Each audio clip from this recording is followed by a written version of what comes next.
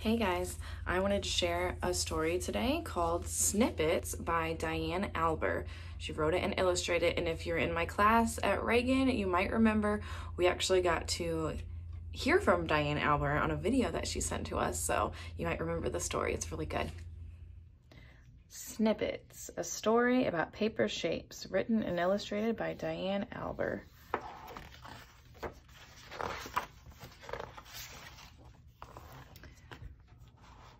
This is a story about a strange little place where two shapes of paper filled up the whole space. Triangles and squares would all wait in line to make a home in the same patterned design. Each house like the other, all so mundane, not a chimney, a shingle, or long window pane. Then one afternoon, after new shapes were made, a snippet showed too in an aqua blue shade. But because Snippet had an oddly shaped top, he looked a bit different from a normal rooftop. He was very shy, but he wanted to play, so he asked the shapes, What are you making today? We make sturdy houses, announced the red square. Asymmetrical shapes belong right over there. Because we are different, it's best we're divided. We just can't risk having our houses lopsided. Snippet wasn't expecting to be asked to leave and was shocked that Square was being naive. He could build a strong house and be part of a pair, even though he was not like a regular square. Not wanting to argue, he walked over to the pile and noticed each shape had a distinctive style.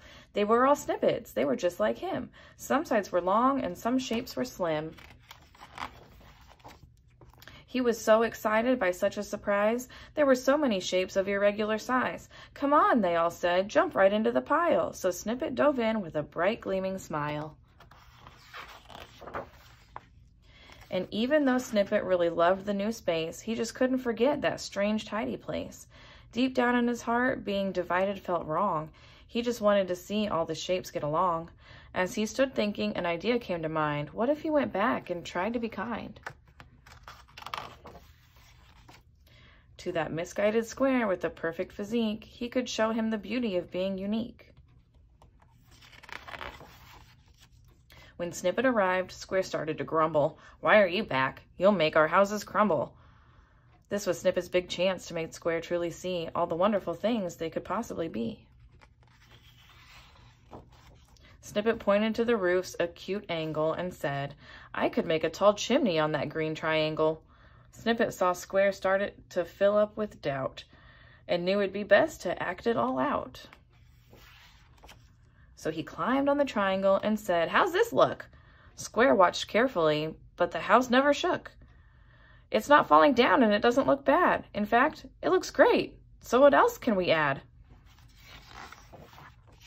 Actually, said Snippet, we could add some more. There's a rectangle snippet for a fancy front door. Is it okay if I ask the pile to play too? Square happily agreed, only expecting a few. But the whole pile showed up to come over and play. And to Square's huge surprise, they had such a fun day. The houses they made had never looked so grand. It was just as wonderful as Snippet had planned. Squares, triangles, and snippets all getting along. They'd made a great place where they all could belong. Long rectangles made houses that reached up so high, a pentagon-shaped rocket could fly in the sky, a right triangle made a red sail on a ship. It was amazing to see such close partnership. They all learned so much from each other that day that regardless of shape, they could happily play, and to think it was just one snippet's kind heart that joined them together to make such great art. The end. I love all these snippets too. So I think it'd be really fun to see what kind of snippets you guys could come up with out of different paper and what kind of pictures you came up with or turn them into little snippet characters.